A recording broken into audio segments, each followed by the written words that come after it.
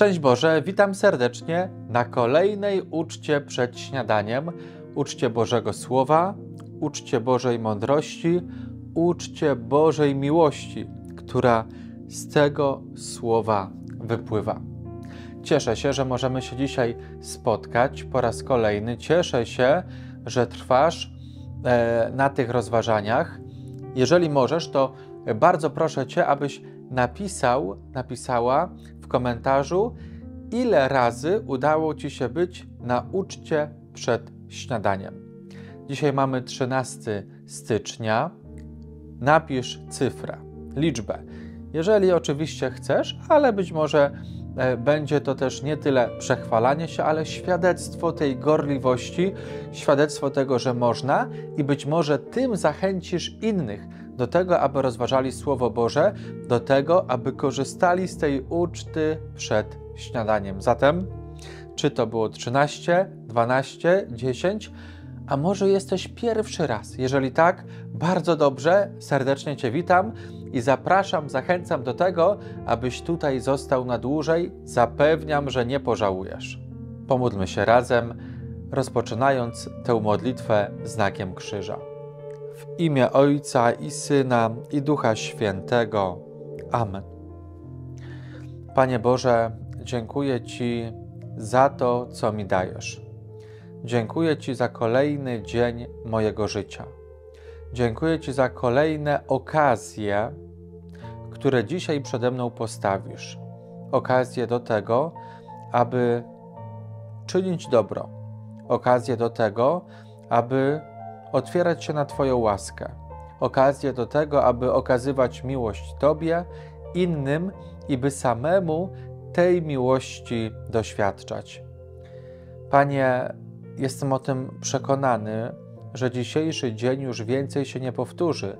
Łaska, która jest przeznaczona na każdy dzień, każdą dzisiejszą godzinę, minutę i sekundę, już nigdy więcej się nie powtórzy i nigdy więcej do mnie nie wróci będą nowe łaski, inne łaski przeznaczone na nową chwilę, na nowy moment mojego życia. Dlatego Ty mi dodawaj tej gorliwości i świadomości, abym z każdej chwili wycisnął jak najwięcej Twojej łaski, abym jak najwięcej skorzystał dla swojego pożytku, ale i też dla pożytku tych, z którymi na co dzień żyję.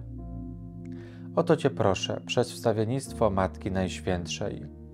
Zdrowaś Maryjo, łaski pełna, Pan z Tobą, błogosławionaś Ty między niewiastami i błogosławiony owoc żywota Twojego Jezus. Święta Maryjo, Matko Boża, módl się za nami grzesznymi, teraz i w godzinę śmierci naszej. Amen. A teraz zapraszam Cię do wysłuchania Bożego Słowa. Słowa Ewangelii według świętego Marka. Jezus wyszedł znowu nad jezioro. Cały lud przychodził do niego, a on go nauczał. A przychodząc ujrzał Lewiego, syna Alfeusza, siedzącego w komorze celnej, i rzekł do niego: Pójdź za mną. On wstał i poszedł za nim. Gdy Jezus siedział w jego domu przy stole, Wielu celników i grzeszników siedziało razem z Jezusem i jego uczniami. Było bowiem wielu, którzy szli za nim. Niektórzy, uczeni w piśmie spośród faryzeuszów, widząc, że jest grzesznikami i celnikami, mówili do jego uczniów: Czemu on je i pije z celnikami i grzesznikami?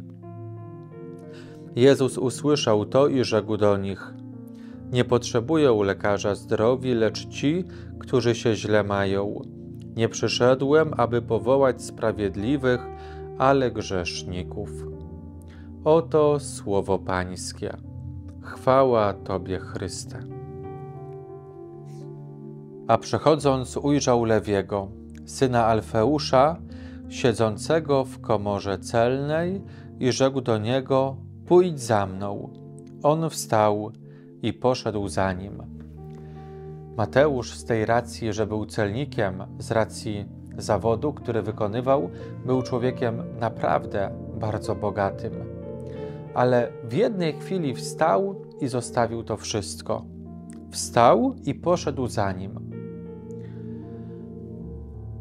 On pokazuje, Mateusz pokazuje, że dobra materialne jednak nie są najważniejsze i nie są ostatecznym celem serca człowieka i życia człowieka. Oczywiście one są ważne i potrzebne. One są ważne po to, aby e, zapewnić byt sobie, swoim bliskim. Te dobra materialne są e, potrzebne do tego, żeby kupić kamerę, mikrofon, światła, żeby zatankować samochód, żeby kupić sobie kurtkę, czapkę, rękawiczki. To jest, moi drodzy, normalne. I Pan Jezus powiedział: Nie troszczcie się zbytnio. Nie powiedział: Nie troszczcie się wcale. Przepraszam. Nie troszczcie się w ogóle, ale nie troszczcie się zbytnio o to, co macie jeść, pić, w co się macie ubrać. Mateusz pokazuje, że jednak są wartości ważniejsze od tych wartości materialnych.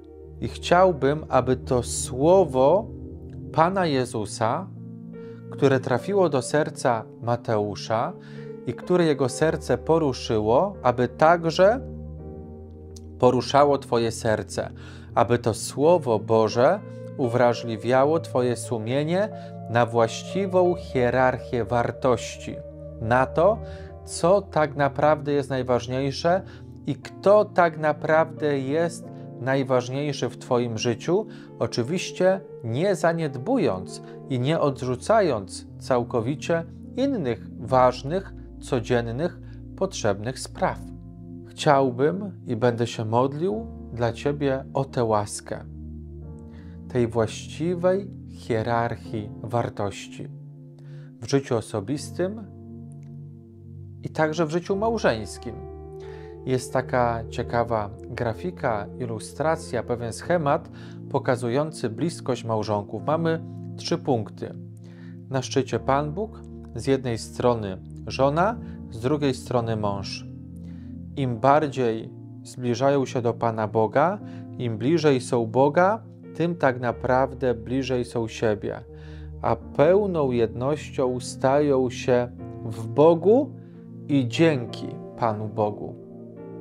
Zatem, będąc w małżeństwie i będąc blisko Pana Boga, tak naprawdę zyskasz i wygrasz małżeństwo, wygrasz rodzinę, wygrasz miłość, ponieważ to Pan Bóg będzie źródłem Twojej miłości, cierpliwości, otwartości na nowe życie, wyrozumiałości wobec swoich najbliższych, nauki ofiarności i pracy nad egoizmem, który co chwilę będzie się odzywał. I pamiętaj, że Bóg patrzy na ciebie z miłością. Nie potrzebują lekarza zdrowi, lecz ci, którzy się źle mają. Nie przyszedłem powołać sprawiedliwych, ale grzeszników. Jeżeli ty brzydzisz się swoją grzesznością, to pamiętaj, i przez to, jeżeli brzydzisz się sobą, jako człowiekiem, jako dzieckiem, ukochanym dzieckiem Pana Boga, to pamiętaj, że Bóg się Tobą nie brzydzi. Oczywiście Ty masz się brzydzić samym grzechem, który Ciebie plami. Ale pamiętaj, że to poplamione ubranie ściągamy, dajemy do pralki, czyścimy, zakładamy nowe, świeże. I trzeba to odróżnić. Grzech, którego mamy się brzydzić, ale i też godność człowieka jako ukochanej osoby, za którą Chrystus umarł. Pan Jezus nigdy się Tobą nie brzydzi. Patrz na siebie Jego oczyma. Z tymi refleksjami Cię zostawiam. Jeżeli uważasz, że, że są komuś potrzebne, mogą e, komuś się przydać, ktoś może dzięki temu przybliżyć się do Pana Boga, być może zmienić coś w swoim życiu. Prześlij to, udostępnij na swoim profilu, za co bardzo Ci dziękuję.